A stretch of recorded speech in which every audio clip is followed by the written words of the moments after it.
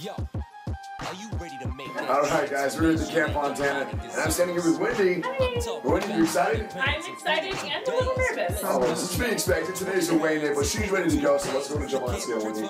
So 161 flat, six weeks to drop the weight. Wendy, ready? Let's go. Got it. We're here at the Camp Fontana with Wendy weighing in for her six week challenge. She started at 161.0, and are you ready to see where you're at? Ready. How you feeling? I'm feeling great. Awesome, awesome. Excellent. Let's check it out.